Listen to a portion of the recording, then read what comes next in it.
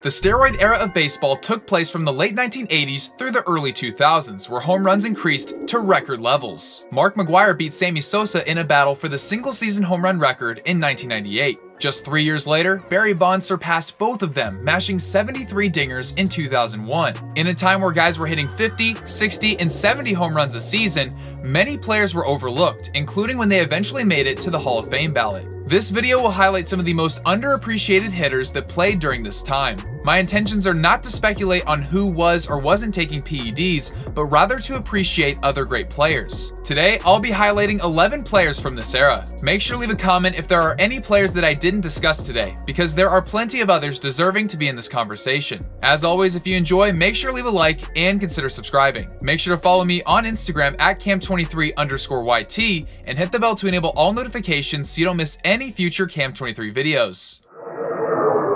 Tim Salmon was an Angels lifer. He spent 14 years with the California, Anaheim, and Los Angeles Angels. As a rookie in 1993, he batted 283, hit 31 homers, and drove in 95 en route to winning Rookie of the Year honors. In 1995, Salmon set many career highs, including a 6.6 WAR, a 330 average, 34 homers, and a 165 OPS+. He won a Silver Slugger and finished 7th in MVP voting. Salmon was a key contributor in the 2002 World Series against the Giants.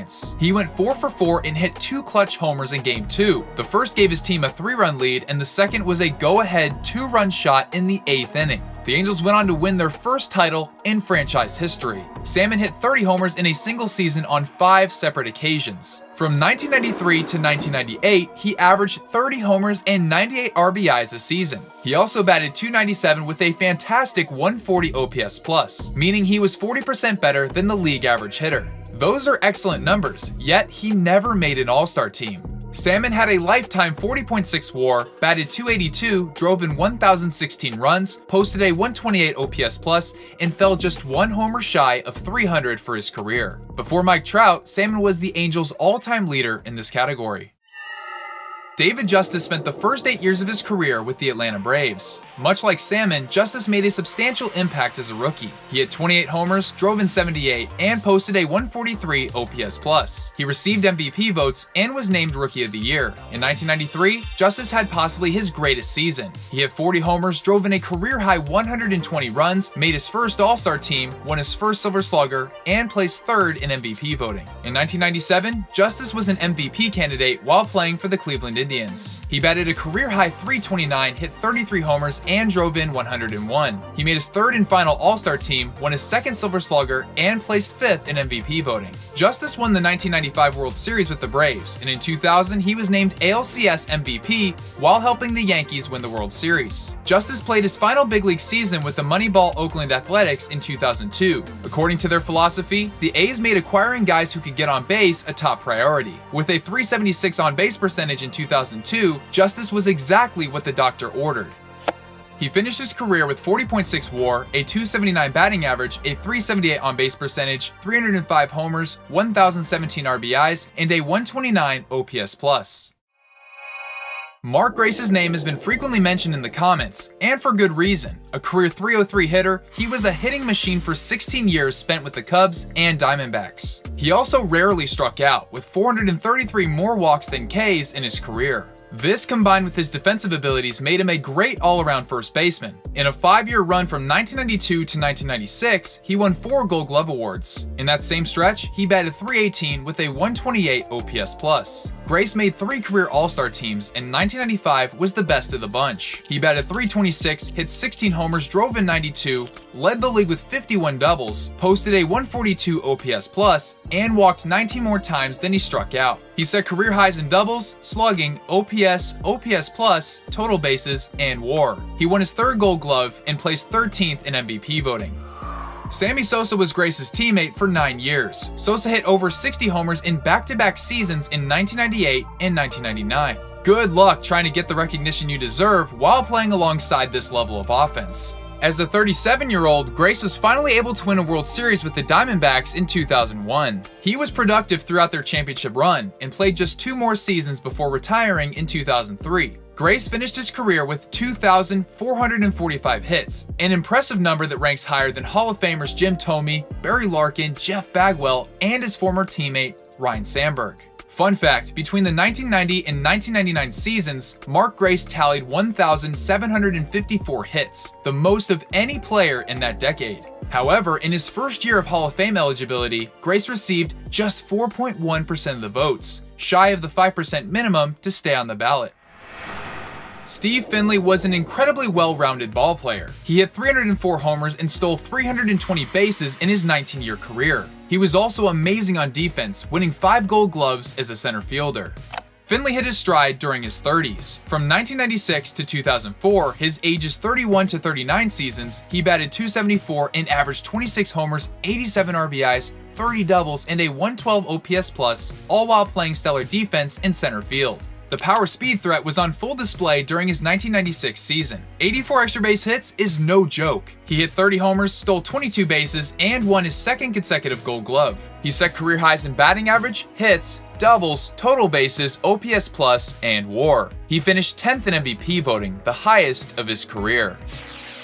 Finley played alongside Mark Grace on the 2001 Diamondbacks team that won the World Series. Another parallel between the two players is a similar number of hits. Finley finished his career with 2,548, and Grace with 2,445. Even their career war is comparable, with Finley at 44.2 and Grace at 46.4.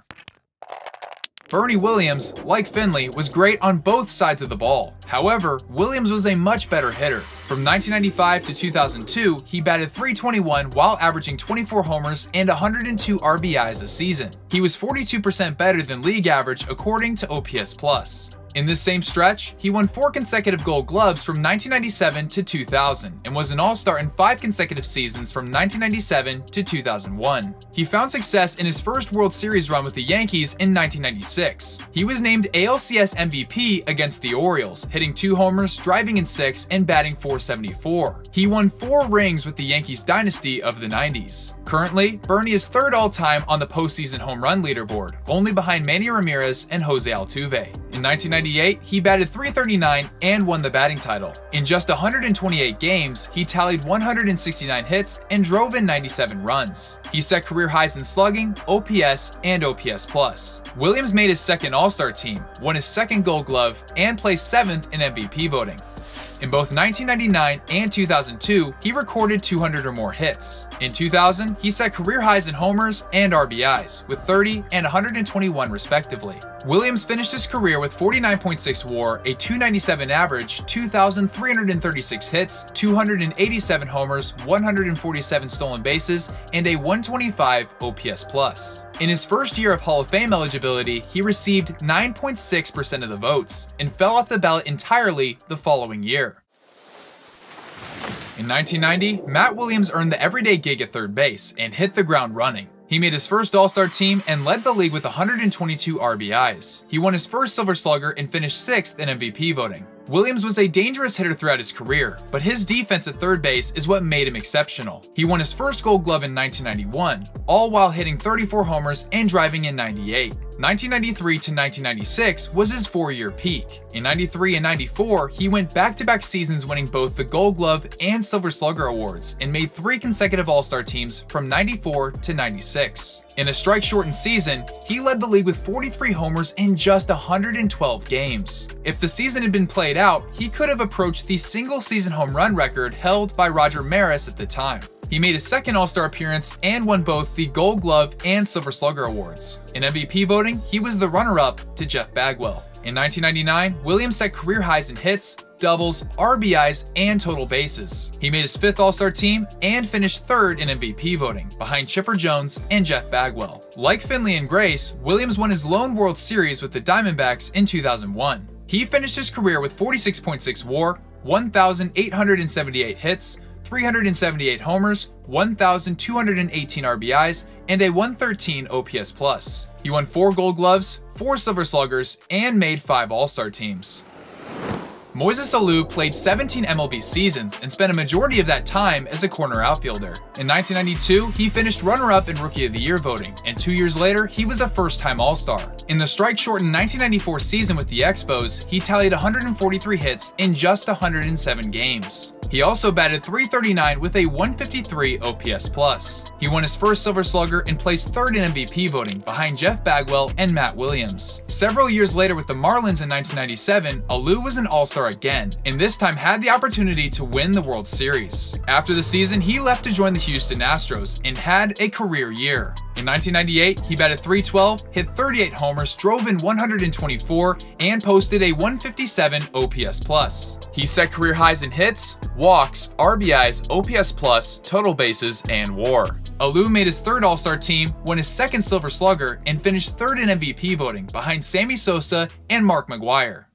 After missing 1999 due to injury, the years 2000 and 2001 marked a return to elite form. In 2000, he batted 355 with a 151 OPS+. He set career highs in average, on-base percentage, slugging, and OPS. Moises was a great hitter as a 37 and 38 year old slugger. He was an all star in both seasons. In 2004, he nearly hit 40 homers and drove in 100 for the fifth time in his career. From 2000 to 2008, ages 33 to 41, he batted 310. He finished his career with nearly 40 war, a 303 average, 2,134 hits, 332 homers, 1,287 RBIs, and a 128 OPS+.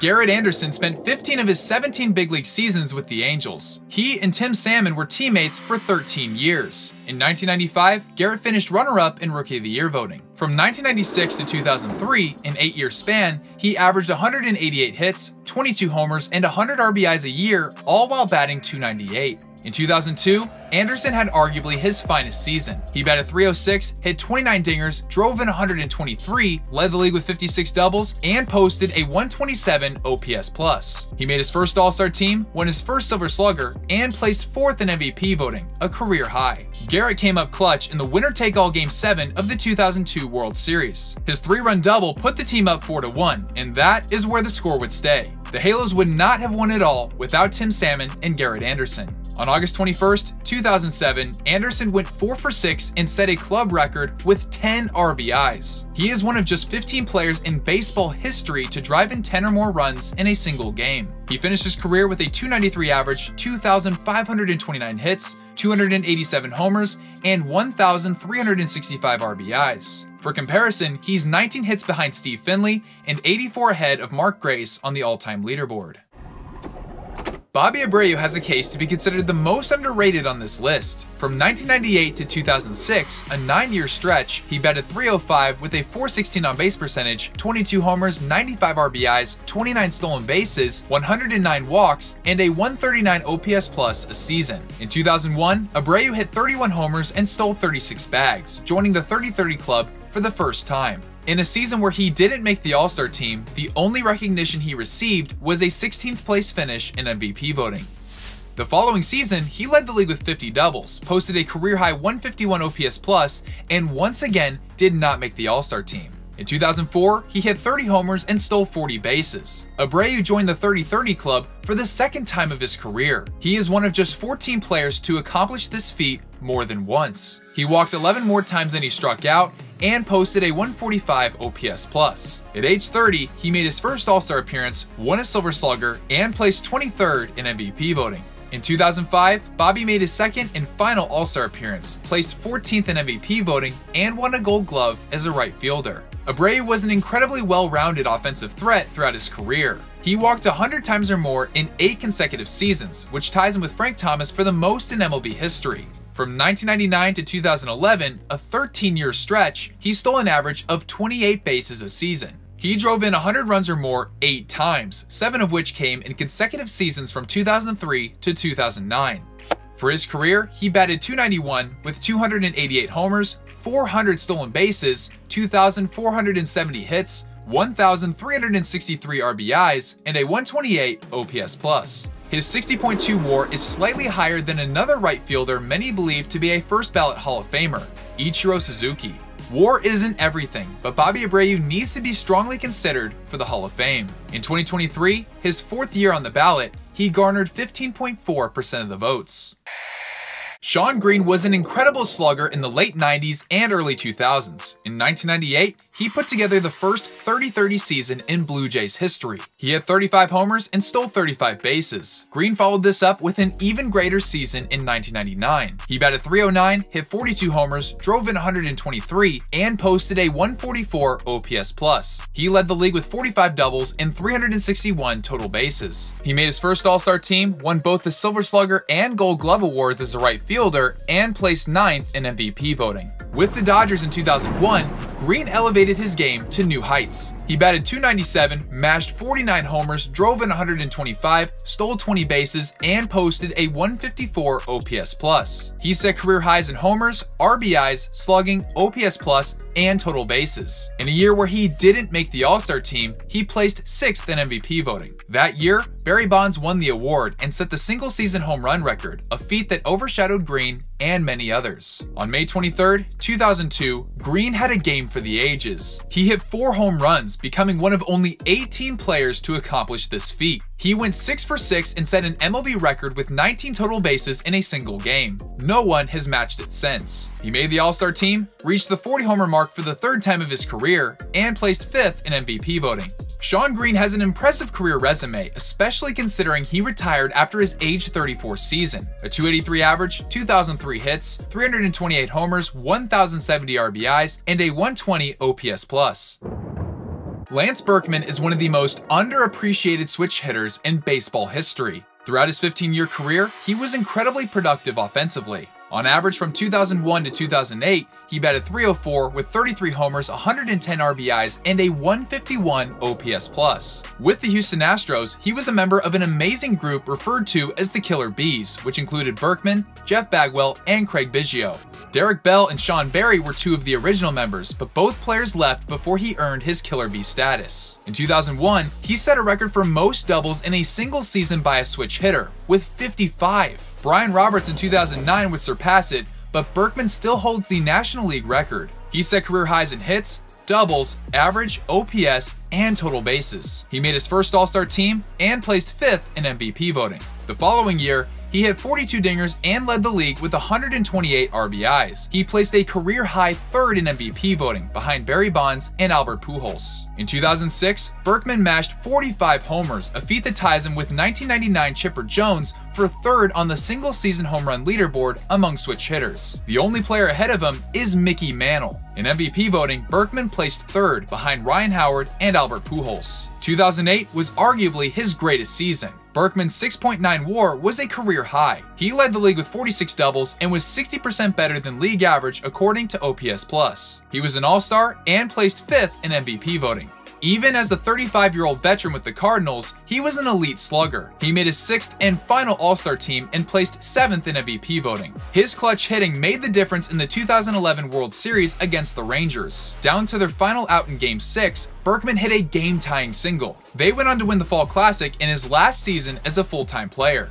Berkman was incredible in 39 career World Series at bats, hitting 410. Berkman finished with 52 career WAR, a 293 average, 366 homers, 1,905 hits, 1,234 RBIs, and a 144 OPS+. It's not a perfect comparison, but in over 500 less games, Berkman nearly matched David Ortiz in WAR. His triple slash numbers are all higher than Big Papi, a first ballot Hall of Fame designated hitter.